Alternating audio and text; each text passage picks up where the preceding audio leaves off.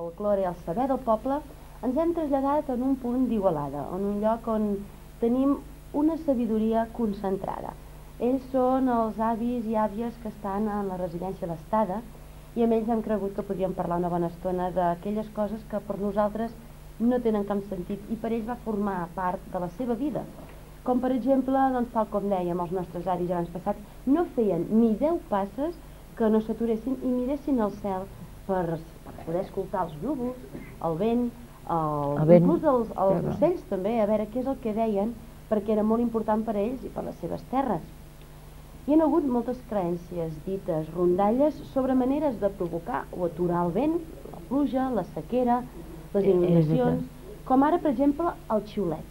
Diuen que el fet de xiular, eh, només pel sol fet d'imitar el moviment del vent, ja provocava que hi hagués aleshores el vent arribés i aquest fet d'haver xiulat i d'haver provocat aquell moviment provocava al mateix temps, això Aigua. creia, el vent que arribés. Arriba l'aigua. I, I potser a la darrere arribés l'aigua Sí, sí. tan necessària. No arriba ara, no. No arriba ara l'aigua.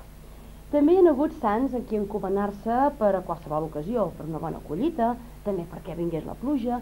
Sempre, sempre ha sigut molt important tenir aquestes creences molt ben arrelades. I tenim, per exemple, a Sant Carles, que és el patró dels arrossers i dels midonaires, Sant Antoni. Tenim a Sant Martí de Porres, contra les rates, els taps i d'altres mamífers rosegaires, i aquí tinc persones que segur que me'n diran molts més que en saben. Doncs avui hem vingut aquí, com hem dit, aquí a l'estada, per parlar amb, amb ells. I primer començarem amb la Lourdes Esquer. Hola, bon dia. A la vaca. Ella va viure, ha viscut sempre aquí a Igualada, Sí, però senyor. els seus Soc filla d'aquí que volava és filla d'aquí, i els Del seus pares... Del Molí Nou? Ah, escolta, això ja estaves a fores.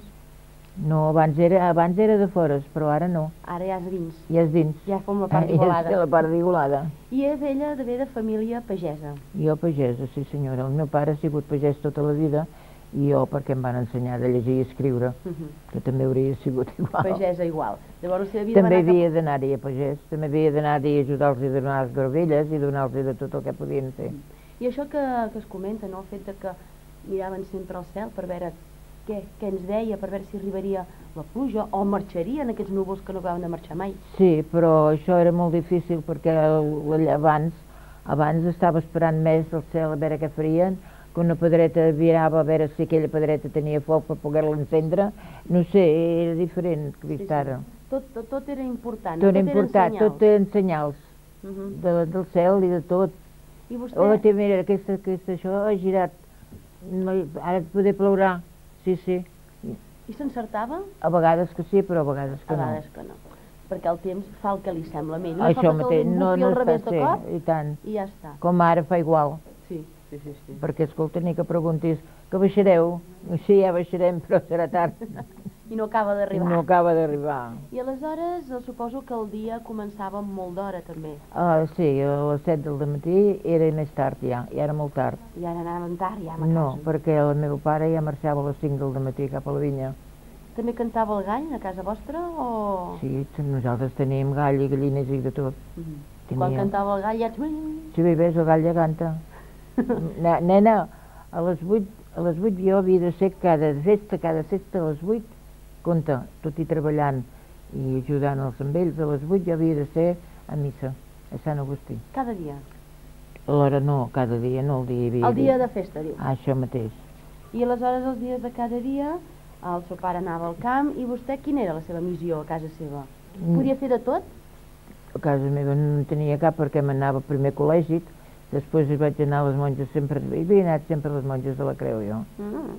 No, no havia mogut mai d'allà. I abans m'explicava que per anar a rentar la roba Ah, sí senyora, quan la meva mare la vaig tenir 12 anys cega i el meu pare 6 anys ferit.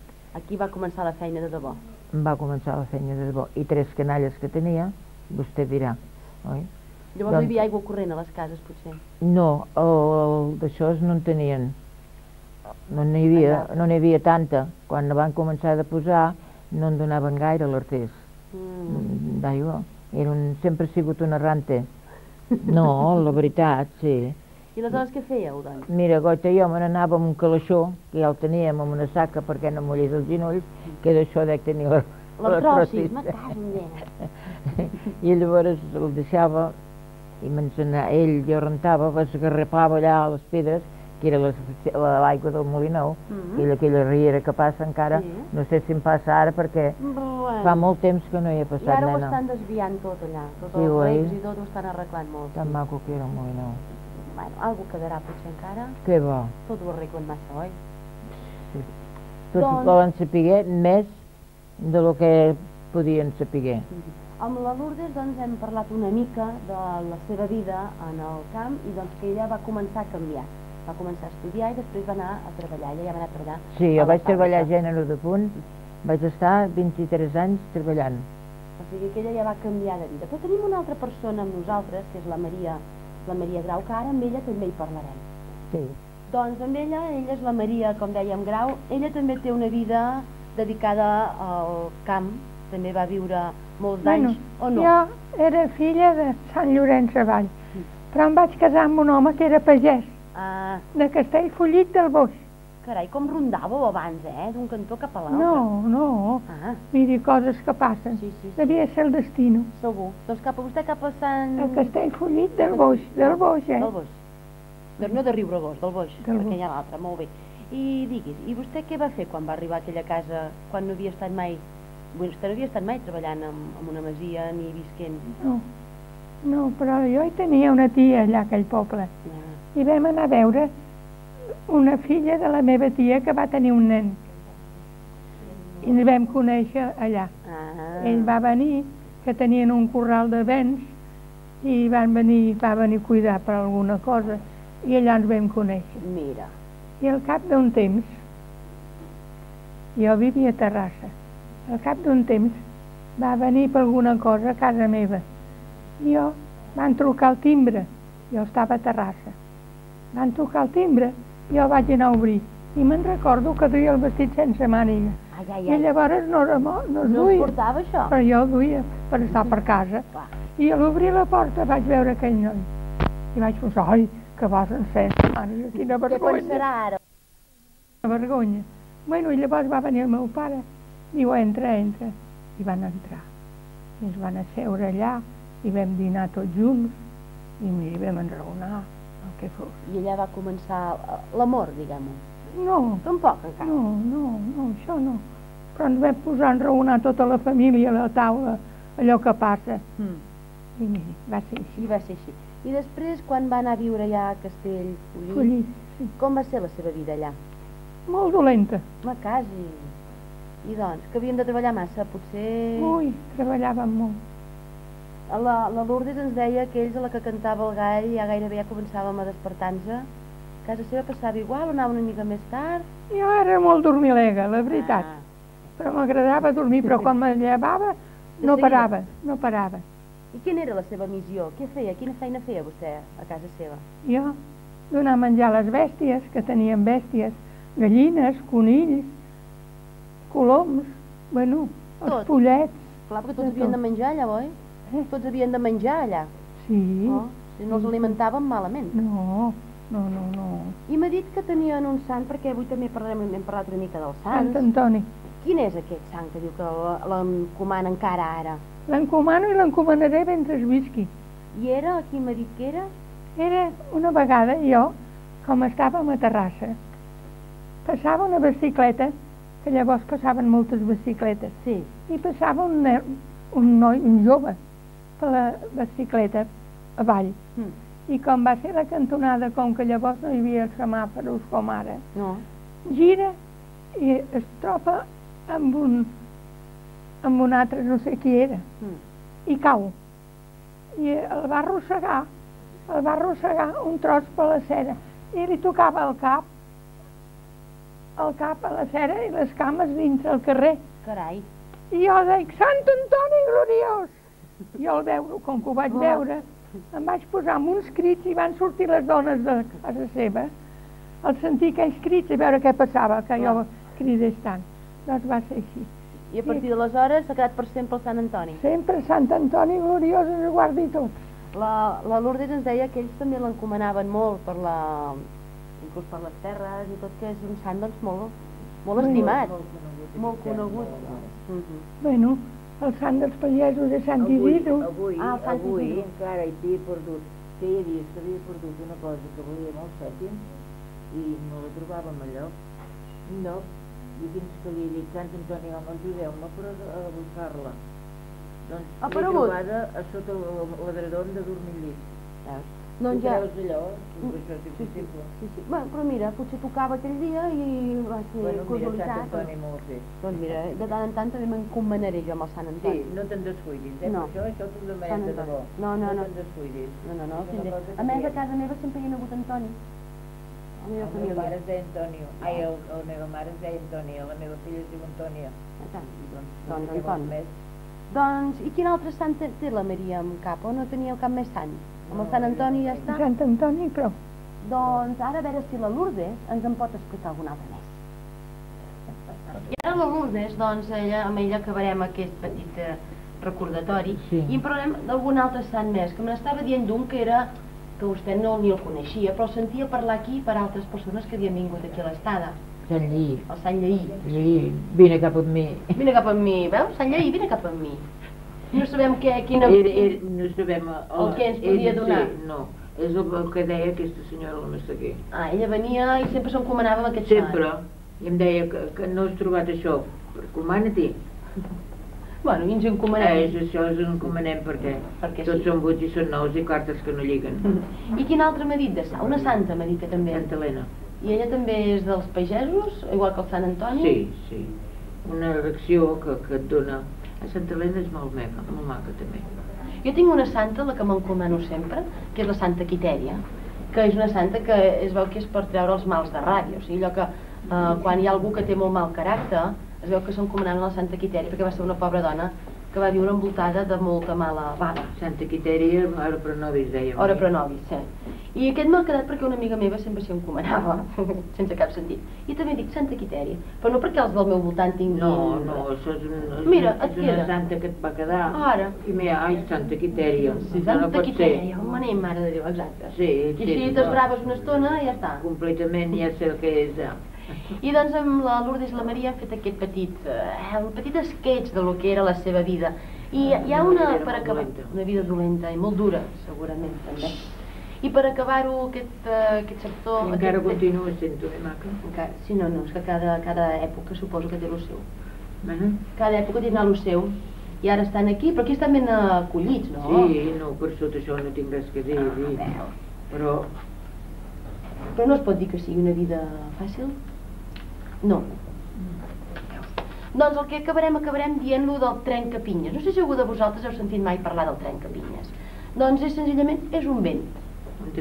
Trencapinyes. Ah, trencapinyes sí que ho havia sentit a ton pare. Doncs és, un un, vell. és una ventada Una ventada, Mm, que trencapinyes. Sí, que s'ho trega els pins. Clar, és el que aconsegueix llavors, clar, què fa? Provoca que caiguin les pinyes dels arbres. És el que havia de fer, per si no, no cobrien.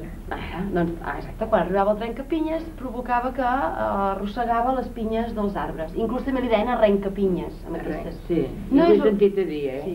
No és, no és més que fos un vent, sinó que eren unes ventades. Una ventada, una ventada que diu, oh, t'hi has d'arrencar les pinyes. Ah, exacte, i per això li deien trencapinyes. Trencapinyes, sí senyora. Doncs ara, després d'aquesta petita nota curiosa, passarem avui a parlar també d'alguns objectes curiosos.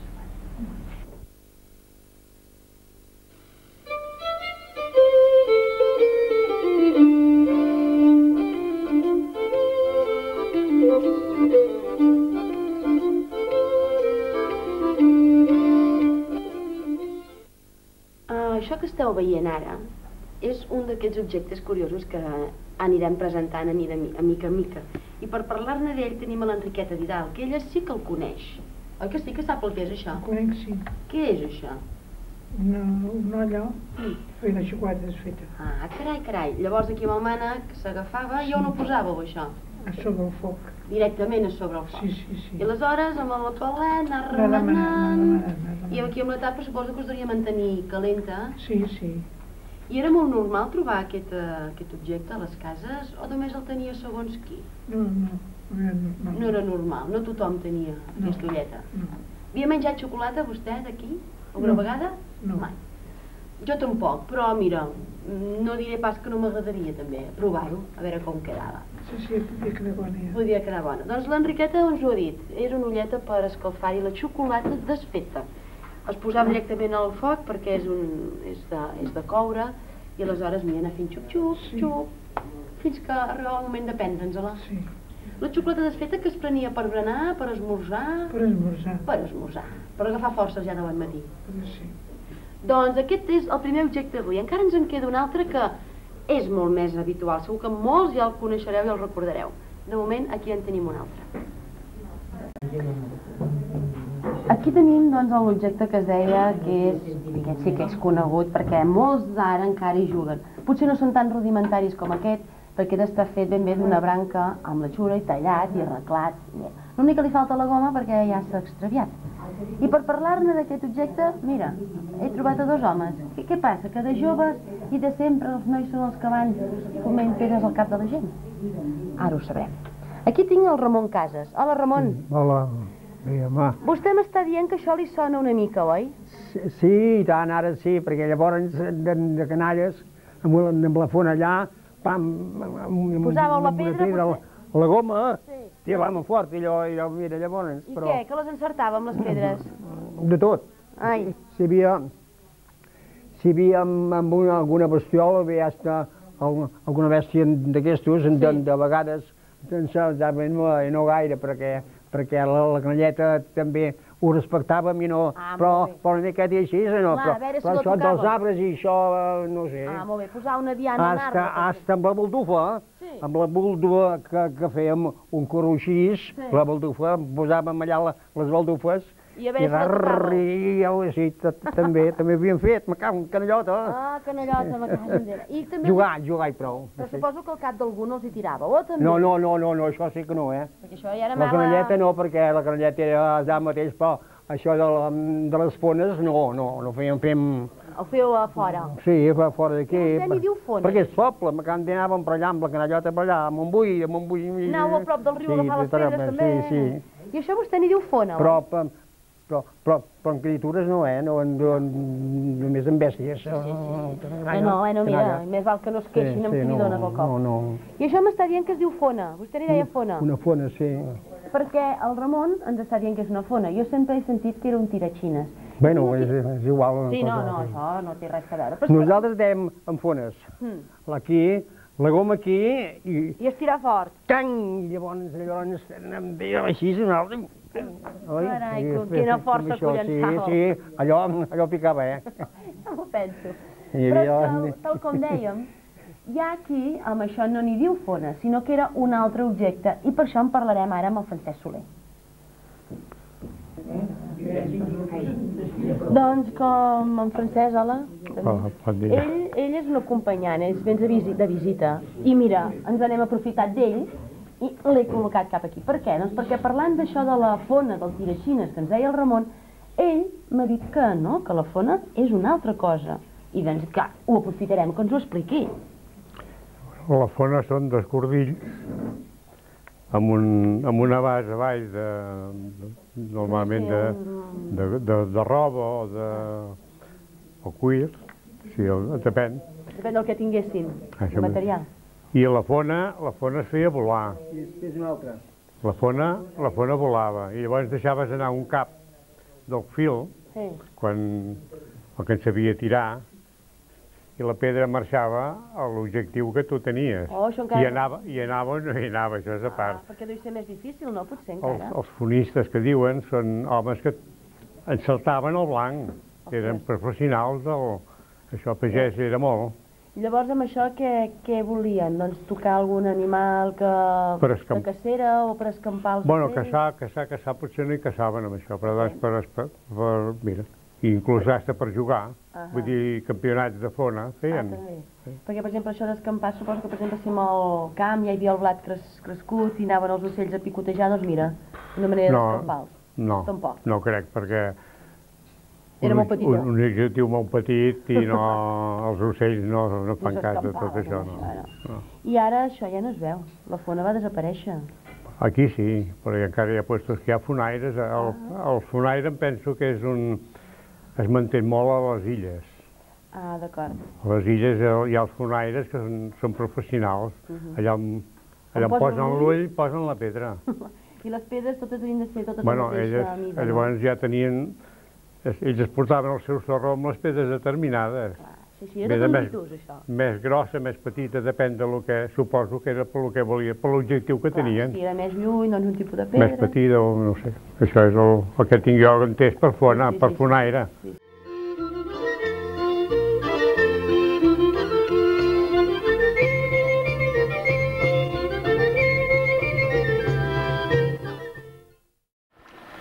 El ball que tot seguit en farem referència és l'Hereu Riera. I es diu que pel Carnestoltes era remarcable la presència del vi. A la muntanya de Ponent, per escollir el fadrí que havia de manar el Carnestoltes, es valien del ball de bastons conegut tradicionalment per l'Hereu Riera. Els aspirants hi ballaven damunt o a l'entorn d'un got de vi, el més alt que hi trobaven, obligadament havia de ser vi negre. Aquests bastons eren molt diferents dels que s'utilitzen ara per fer el ball, per representar-lo. Eren dos bastons ben rústics i nuosos, encreuats que fessin de mal sostenir-se. El fadrí que hi ballava havia d'evitar de no fer caure els bastons, per lo que requeria per part dels participants una gran destresa. A més a més, de lleugeresa i enginy. Si el ball sortia bé, el fadrí era anomenat heroi de la festa. Escòcia se'n ballava un de semblant, l'únic que en lloc d'utilitzar els dos bastons feien servir dues espases o dues pipes ben llargues. Tot i que també s'ha de dir que avui el ball que el veurem està representat per joves, molt joves dansaires, no era així en el seu temps, per lo que dèiem, sinó que havia de ser una persona destra perquè la creuamenta amb el peu no el fessin caure. Doncs nosaltres eh, el que veurem avui serà un grup de joves que procuren que aquest ball no quedi a l'oblit i la melodia que escoltarem també ens porta a la memòria la lletra que l'acompanya, que diu Per a Sant Antoni grans balles hi han, per a Sant Maurici tot el poble hi va. Si els que no el balleu la voleu cantar, doncs ara és el moment.